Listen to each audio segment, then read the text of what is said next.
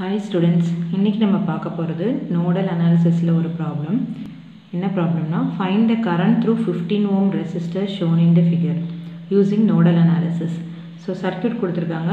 Hundred volt twenty ohm fifteen ohm ten ohm ten ohm ten ohm eighty volt okay இதான் circuit இதை வந்து நம்ம எப்படி nodal அனாலிசிஸில் solve பண்ணுறதுன்னு பார்க்கலாம். லாஸ்ட் கிளாஸ்லேயே இதோட ஒரு சின்ன ப்ராப்ளம் நம்ம வந்து டிஸ்கஸ் பண்ணியிருந்தோம். இப்போ வந்து இது நம்ம மெஷ் அனாலிசிஸில் யூஸ் பண்ணி கேவிஎல் யூஸ் பண்ணியே நம்ம வந்து சால்வ் பண்ணலாம். சால்வ் பண்ணும்போது நமக்கு என்ன வரும்? இப்போ மூணு மெஷ் நம்ம கன்சிடர் பண்ணுவோம். மூணு மெஷ் கரண்ட் கன்சிடர் பண்ணுவோம். மூணு ஈக்குவேஷன் வரும். நோடல் அனாலிசிஸில் நம்ம பண்ணும்போது என்ன ஆகும்னா நமக்கு வந்து ஒரு ஈக்குவேஷன் கம்மியாக வரும். இப்போ மூணு வேரியபிளுக்கு பதிலாக நமக்கு வந்து ரெண்டு வேரியபிள் வரும். நமக்கு சால்வ் பண்ணுறது கொஞ்சம் ஈஸியாக இருக்கும். இதை நம்ம எப்படி சால்வ் பண்ணுறதுன்னு ஃபஸ்ட்டு பார்க்கலாம். ஸோ ஃபஸ்ட்டு நோடல் அனாலிசிஸில் நம்ம சால்வ் பண்ண ஆரம்பிக்கும் போது ஃபஸ்ட்டு சர்க்கியூட்டில் வோல்டேஜ் சோர்ஸ் இருந்தால் நம்ம அதை வந்து ஃபஸ்ட்டு என்ன பண்ணிக்கணும்? கரண்ட் சோர்ஸாக கன்வெர்ட் பண்ணிக்கணும். ஸோ கரண்ட் சோர்ஸ் எப்படி கன்வெர்ட் பண்ணுறதுங்கிற ப்ரீவியஸ் வீடியோவில் இருக்குது பட் எனிவே நான் இப்போ ஒன்று இன்னொரு தடவை எக்ஸ்பிளைன் பண்ணுறேன் ஸோ ஒரு voltage source in series with a resistance அதை வந்து நம்ம வந்து ஒரு current source in parallel with a ரெசிஸ்டன்ஸாக மாற்ற போகிறோம் அதாவது ஒரு வோல்டேஜ் சோர்ஸும் ஒரு series with series with a resistance இருந்ததுன்னா நம்ம வந்து அதை வந்து சோர்ஸ் ட்ரான்ஸ்ஃபர்மேஷன் பண்ணும்போது நம்ம எப்படி மாற்றுவோம்னா ஒரு current source in parallel with a resistance okay so nodal analysis solve பண்ணணும்னா இந்த சர்க்கியூட்டை நம்ம வந்து கரண்ட் சோர்ஸாக மாற்றினதுக்கப்புறம் தான் நம்மளால் நோடல் அனாலிசிஸ் சால்வ் பண்ண முடியும். ஸோ இந்த சர்க்கியூட்டை நம்ம எப்படி um, மற்ற கரண்ட் சோர்ஸ் வச்ச சர்க்கியூட்டை நம்ம மாற்றுறோம்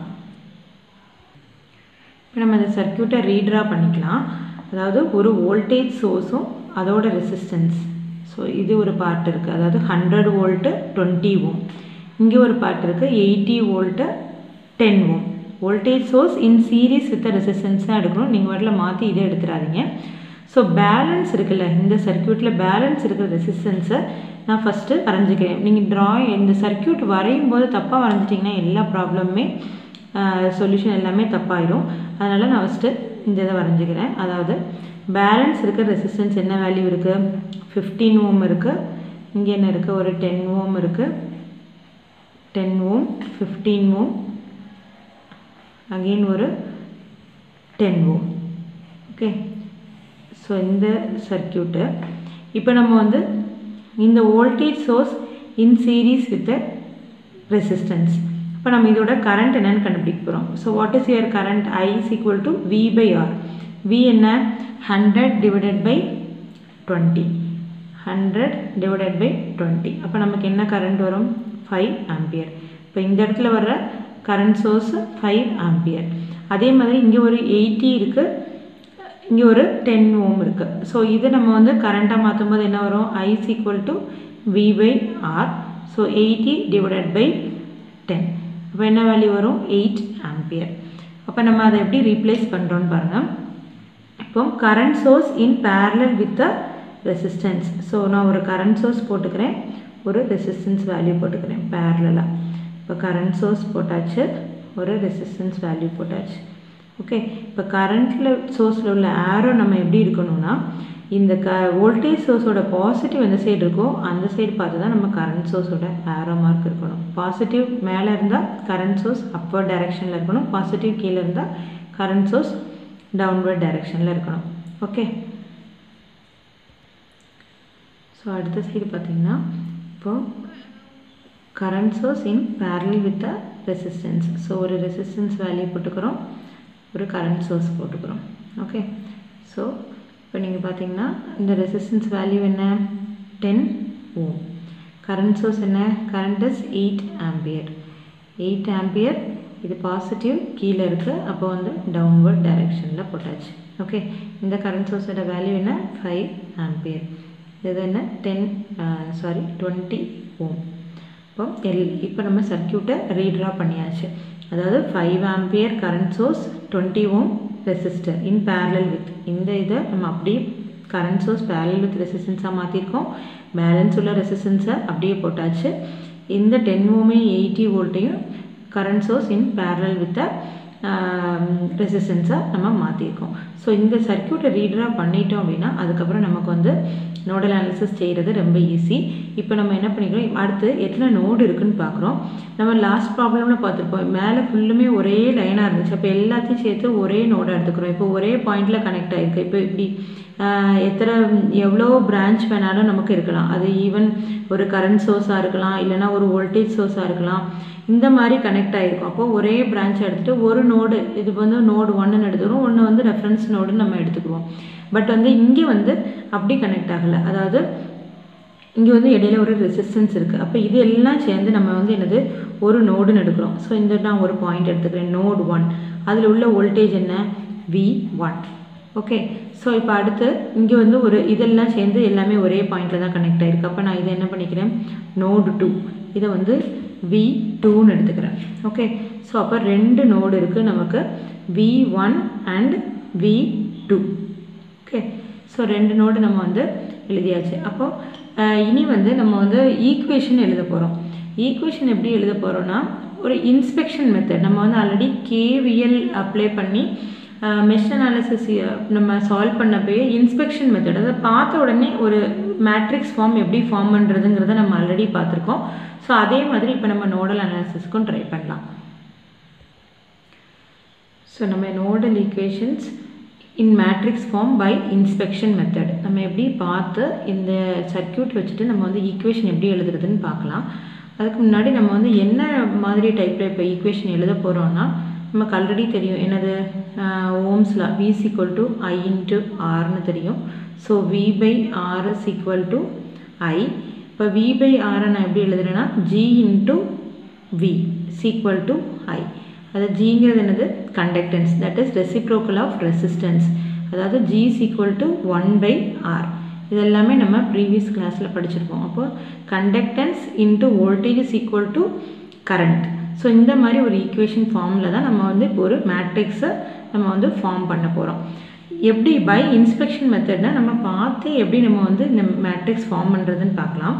ஃபஸ்ட்டு வந்து நமக்கு இப்போ ரெண்டு நோடு இருக்குது அப்போ நான் எப்படி எழுதிக்கிறேன்னா ஜி ஒன் ஒன் ரெண்டு நோடு இருக்கணும்னா ஜி ஒன் ஒன் அதாவது ஃபஸ்ட்டு நோடில் கனெக்ட் ஆகிருக்கிற எல்லா கண்டக்டன்ஸை சம் அதான் இதோட வேல்யூ ஓகே அடுத்து வந்து G one two G two one G two two இது ஒரு மேட்ரிக்ஸ் அதுக்கடுத்து நம்ம வந்து வோல்டேஜில் எழுதணும். வி வேணும். அப்போ வி ஒன் வி டூ ஏன்னா ரெண்டு நோடு இருக்கனால வி ஒன் வி டூன்னு எழுதிக்கிறேன்.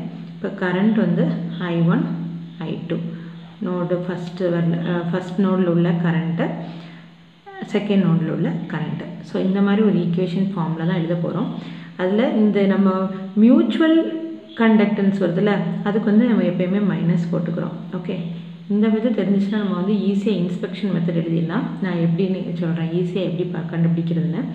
அதாவது ஜி ஒன் ஒன் அதாவது ஃபஸ்ட்டு நோடில் என்னென்ன ரெசிஸ்டன்ஸ் கனெக்ட் ஆகிருக்குன்னு பாருங்கள் அந்த ரெசிஸ்டன்ஸ் எல்லாம் அதாவது ரெசிஸ்டன்ஸ் கண்டக்டன்ஸுங்கிறது என்ன? One by resistance that is one by R அப்போது one by twenty plus one by ten plus one by fifteen அதான் என்னது? ஜி ஒன் ஒன் இப்போ ஜி ஒன் ஒன்னோட வேல்யூ என்ன? One by twenty plus one by ten plus one by fifteen G one one நமக்கு கிடச்சிருச்சு. அடுத்து G one two G one two அப்படிங்கிறது என்னென்னா நோடு ஒன்றுக்கும் நோடு டூக்கும் இடையில உள்ள ரெசிஸ்டன்ஸோட வேல்யூ இப்போ இதில் என்ன வேல்யூ இருக்குது நோடு ஒன்றுக்கும் நோடு டூக்கும் உள்ள வேல்யூ வந்து ஃபிஃப்டீன் ஜி ஒன் டூ மைனஸில் எழுதுகிறோம் ஸோ மைனஸ் அப்போ ஒன் பை ஆர் அப்போ one by fifteen okay so G two ஒன்றும் சேம் வேல்யூ தான். Minus one by fifteen second நோடுக்கும் first நோடுக்கும் இடையில உள்ள ரெசிஸ்டன்ஸோட reciprocal of that is called G two one that is conductance of G two one okay அடுத்தது நமக்கு G two two எழுதணும். G two டூங்கிறது second நோடில் என்னென்ன ரெசிஸ்டன்ஸ்லாம் கனெக்ட் ஆகிருக்கோ அதோட ரெசிப்ரோக்கலோட சம் தான் நமக்கு ஜி டூ டூ அதில் என்ன கனெக்ட் ஆகிருக்கு ஃபிஃப்டீன் இருக்குது டென் இருக்குது டென் இருக்குது அப்போ one by fifteen plus one by ten plus one by ten so நம்ம வந்து எழுதிக்கலாம். One by ten plus one by ten plus one by fifteen okay இப்போது ஒரு ஜியோட மேட்ரிக்ஸ் ஃபார்ம் பண்ணியாச்சு. So V one V two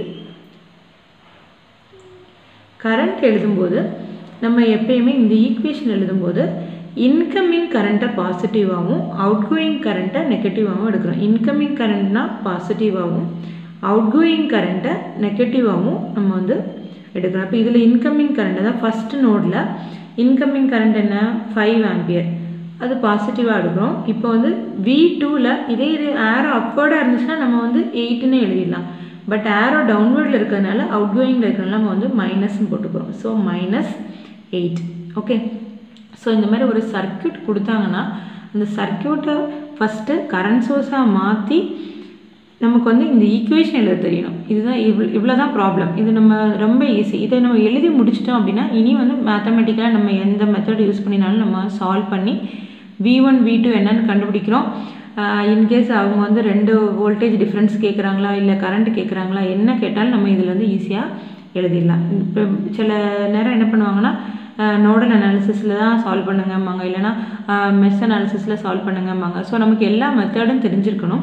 so இது வந்து ரொம்ப ஈஸி இந்த ஈக்குவேஷன் வரை எழுதுறது தான் கரெக்டாக எழுதணும். இந்த ப்ளஸ் மைனஸ் எதுவுமே மாற்றாமல் நம்ம எழுதிட்டோம் அப்படின்னா ஈஸியாக நம்ம வந்து இந்த ப்ராப்ளம் சால்வ் பண்ணிடலாம். ஸோ இதை சிம்பிளிஃபை பண்ணி எழுதிக்கலாம். Point two one six minus zero point zero six six minus zero point zero six six G one டூவும் ஜி டூ ஒன்னும் சேம் வேல்யூ தான் வரும். Zero point two six six okay V one V two five minus eight so நம்ம வந்து Cramer's rule இதெல்லாம் நம்ம வந்து already இதில் நம்ம கேவிஎல் அப்ளை பண்ணி மெஷ் அனாலிசிஸ் சால்வ் பண்ணும்போது டீட்டெயிலாக எக்ஸ்பிளைன் பண்ணியிருக்கோம். ஸோ ஃபஸ்ட்டு டெல்டா வேல்யூ கண்டுபிடிக்கணும். டெல்டாங்கிறது இதோட டிட்டர்மினேஷன் வேல்யூ கண்டுபிடிக்கணும். Determination of zero point two one six minus zero point zero six six minus zero point zero six six zero point two six six okay determination value கண்டுபிடிக்கும் போது இது ரெண்டையும் multiply பண்ணிவிட்டு என்ன வேல்யூ வரும்? இது ரெண்டையும் மல்டிப்ளை பண்ணும்போது zero point zero five seven minus of இது ரெண்டையும் மைனஸ் மைனஸ் ப்ளஸ் ஆயிரும். ரெண்டையும் மல்டிப்ளை பண்ணும்போது நமக்கு என்ன வரும்? Zero point zero zero four three so டெ டெல்டாவோட வேல்யூ என்ன வருது? Zero point zero five two six அடுத்து டெல் வி ஒன் என்னன்னு கண்டுபிடிக்கிறோம். Del V one is equal to இந்த இடத்துல நம்ம வந்து இந்த வேல்யூ வந்து ரீப்ளேஸ் பண்ணுறோம் ஸோ என்ன பண்ணோம்? ஃபைவ் மைனஸ் எயிட் இந்த காலம் ஃபஸ்ட்டு காலமை ரீப்ளேஸ் பண்ணியாச்சு. அப்போ minus zero point zero six six zero point two six six இதோட டிட்டர்மினேஷன் வேல்யூ என்னன்னு கண்டுபிடிக்கணும். இதோட value zero point eight zero two so what is here V one V one is equal to del V one by delta so என்ன value வரும்? Zero point eight zero two divided by zero point zero five two six okay so fifteen point two five voltage that is your V one V ஒன்னை வேட value கண்டுபிடிச்சாச்சு. So we டூவும் இதே மாதிரி கண்டுபிடிங்க. We do என்ன வரணும்? இந்த செகண்ட் காலமை ஃபைவ் மைனஸ் எயிட்டால் ரீப்ளேஸ் பண்ணிவிட்டு டெல்டா வி டூ கண்டுபிடிச்சிட்டு வி டூ என்னென்னு கண்டுபிடிக்கிறோம். so delta V two is equal to zero point two one six minus zero point zero six six five minus eight அதோட determination value minus 1.398 so what is your v2 v2 is equal to del v2 divided by delta so minus 1.398 divided by 0.0526 அப்போ answer என்ன வருது? Minus twenty six point five seven volt okay so current through fifteen ohm resistance தான் நமக்கு என்னன்னு கேட்டிருக்காங்க. Current through fifteen ohm so current through fifteen ohm resistor இப்போ சர்க்கியூட்டை பாருங்கள் அதாவது வி ஒன் வி டூ இது ரெண்டுக்கும் இடையில தான் இது ஃபிஃப்டீன் ஓம் கனெக்ட் ஆகிருக்கு அப்போ இது இதில் ஃப்ளோ ஆகிற கரண்ட் என்னன்னு கண்டுபிடிக்கணும். அப்போ இந்த ரெண்டு voltage difference divided by fifteen that is V one minus V two divided by fifteen so அதான் நமக்கு வந்து current through fifteen ohm resistor இப்போ V one minus V two divided by fifteen okay so what is here V one V one is fifteen point two four minus நமக்கு V two வந்து நெகட்டிவில் தான் கிடச்சிருக்கு. Minus twenty six point five seven divided by fifteen இப்போ நமக்கு என்ன answer வரும்னா two point seven eight ampere so இப்போ நமக்கு கரண்ட் த்ரூ ஃபிஃப்டீன் ஓம் வந்து two point seven eight ampere so பாசிட்டிவில் தான் வந்திருக்கு. அப்போ நமக்கு என்ன அர்த்தம்? V one minus V two divided by ஃபிஃப்டின்னு போட்டோம். இப்போ நமக்கு பாசிட்டிவில் தான் வந்திருக்கு. அப்போ இந்த இடத்துல உள்ள நெட் கரண்ட் ஃப்ளோ என்னன்னா வி ஒன்லேருந்து வி டூக்கு தான் ஃப்ளோ ஆகுது. இந்த மாதிரி ஃப்ளோ ஆகுது. அதாவது towards this direction V one from V one to V two அதான் நமக்கு என்னது? கரண்ட் வந்து பாசிட்டிவ் டைரக்ஷனில் கிடச்சிருக்கு. நீங்கள் கேட்கலாம் ஏன் வந்து வி டூ மைனஸ் வி ஒன்று போடக்கூடாதா அப்படின்னு கேட்கலாம். போடலாம். வி டூ மைனஸ் வி ஒன்று போட்டால் நமக்கு என்ன வரும்? வி டூ வந்து ஒரு மைனஸ் வேல்யூ வந்திருக்கு. வி டூ மைனஸ் வி ஒன்னு போட்டால் என்ன வரும்னா minus twenty six point five seven minus fifteen divided by fifteen அப்போ ஓவரால் நமக்கு ஒரு ஃபிஃப்டீன் ஓ ஃபிஃப்டீன் ஓமில் என்ன வரணும்? நெகட்டிவில் வரும். இப்போ நெகட்டிவில் வந்துச்சுன்னா என்ன அர்த்தம்? இந்த க இந்த சர்க்கியூட்டில் நமக்கு நெக் இப்போ இங்கேருந்து நம்ம இதான் கிரேட்டர் நம்ம அசியூம் பண்ணுறோம் பட் நெகட்டிவில் வந்துச்சுன்னா இந்த வழியாக கரண்ட் ஃப்ளோ இல்லைன்னு அர்த்தம். அதாவது வி டூலேருந்து கரண்ட் ஃப்ளோ இல்லை. வி ஒன்லேருந்து தான் இருக்குன்னு அர்த்தம். நமக்கு ஆன்சர் வந்து நெகட்டிவாக கிடச்சிச்சு. கரண்ட் ஃப்ளோ கரண்ட்டோட வேல்யூ எப்போயுமே நெகட்டிவாக கிடச்சிச்சின்னா நம்ம அசியூம் பண்ணுற டைரெக்ஷனுக்கு ஆப்போசிட் டைரெக்ஷனில் தான் கரண்ட் ஃப்ளோ ஆகுதுன்னு அர்த்தம். ஓகே